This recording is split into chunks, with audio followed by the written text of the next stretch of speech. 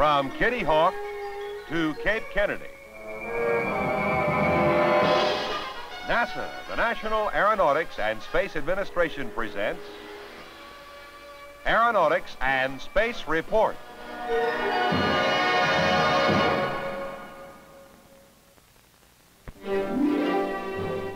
The moon is a necessary first step for exploration of the planets. To fly men there and return them safely in this decade is the goal of NASA's Project Apollo. The early missions of Mercury and the experience from Gemini have brought this country to the next major milestone, the first Apollo three-man space flight. These are the men to fly that mission. Command pilot Virgil Grissom, Mercury, Gemini, and now Apollo, his third time into space, one of the original seven astronauts. The senior pilot, Edward White. He will be remembered for his spacewalk during Gemini 4.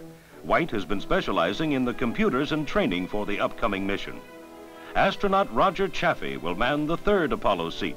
He has been concentrating on the flight plan and experiments. The most important part of the assignment will be to flight test the spacecraft and check out all its systems, tests which will prove its spaceworthiness for future flights. The Saturn rocket, the Apollo spacecraft, and all the component parts have been tested and retested. Everything is nearly ready, including the crew, for this country's first three-man space flight.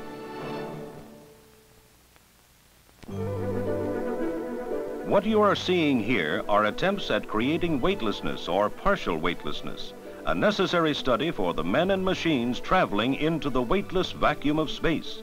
All of these devices are attempts to overcome the pull of the Earth's gravity, just about the only space experience that can't be duplicated or controlled for long periods of time. This rather ordinary-looking building houses the newest and most sophisticated equipment for the study of weightlessness. It is called the Zero G facility and is located at NASA's Lewis Research Center in Cleveland. The basic structure consists of a steel vacuum chamber extending 510 feet below the ground. Experiments can be hurled up from the bottom of the chamber and then fall back into millions of pieces of foam-like cushioning material, achieving about 10 seconds of weightlessness. Experiments can also be dropped from the top of the shaft, allowing five seconds of weightless test time. This demonstration model shows the space available for a variety of experiments. The new facility will be extremely useful in testing various liquid fuels at zero G. Motion pictures taken during drops will give space engineers new insights into the behavior of liquids while weightless. The Zero G facility, a new tool for space research.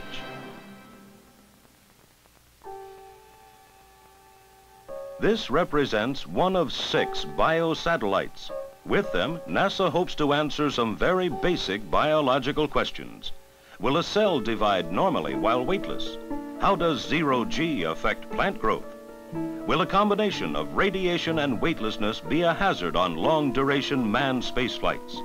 Small biosatellite capsules like this are expected to bring back the answers to these and many other questions. The first flight, carrying 13 experiments, will remain in orbit three days. Others will fly from 21 to 30 days.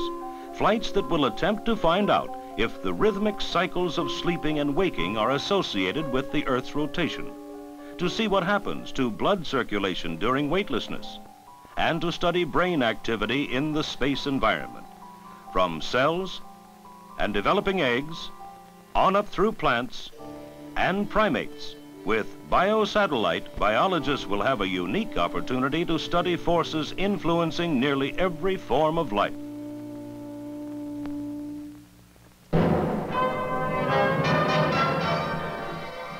This has been an Aeronautics and Space Report, presented by NASA, the National Aeronautics and Space Administration.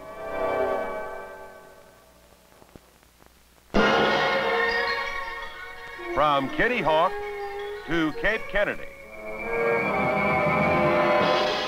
NASA, the National Aeronautics and Space Administration presents Aeronautics and Space Report.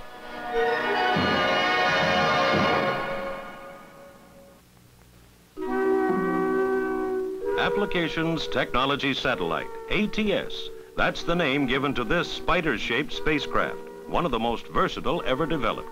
Its purpose? Test out experimental systems for improving weather forecasts, radio, television, and communications of all kinds. Mounted atop the reliable Atlas Agena rocket, the 790-pound satellite was boosted into a stationary orbit, hovering in place some 22,300 miles out from Earth.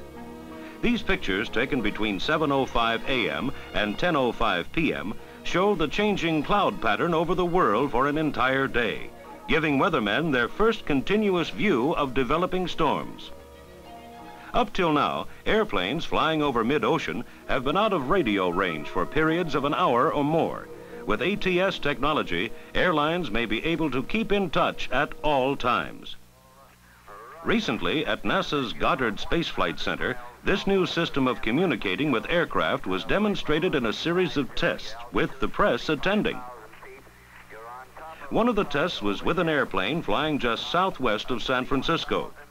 The communication traveled some 50,000 miles from Goddard to the Mojave Ground Station near Barstow, California, to the satellite, and finally to the airplane. Live. Go ahead, uh, United 2621. Goddard, clear.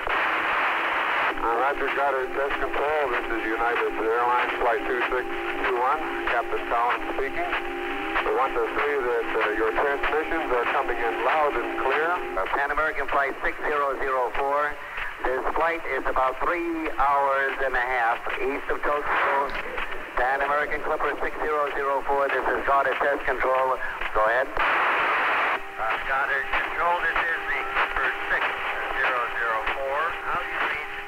ATS can also relay color TV. In another demonstration, color television was relayed from the Mojave facility by satellite to Rosman, North Carolina, and then by conventional means to Goddard. We have enlarged our, the picture we received from the spacecraft, and we have our weather girl with that enlargement. Serving as a telephone switchboard, ATS can handle 600 two-way or 1,200 one-way calls between stations far away from each other. Places like Japan, Australia, and the United States will try to communicate through the satellite. Applications, technology, satellite. During the spacecraft's three-year lifetime, it will test out new communications concepts, making it truly a switchboard in the sky.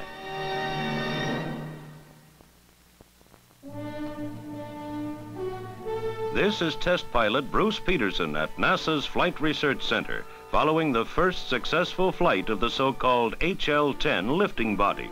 Lifting bodies may be the forerunners of future spacecraft able to touch down on land. The HL-10 is one of two research lifting bodies to be flown. Tucked under the wing of a huge jet, the small craft is air-launched from an altitude of 45,000 feet. And there's the drop. The wingless lifting body achieves the aerodynamic lift it needs to make it fly from its very shape, eliminating the necessity for wings. Right now, lifting bodies drift down to land much as a glider does. Within the next few months, both research vehicles will begin powered flights. By adding rocket engines, the craft can be flown at altitudes up to 80,000 feet and at speeds of 1,000 miles per hour. Conditions spacecraft now encounter returning to Earth.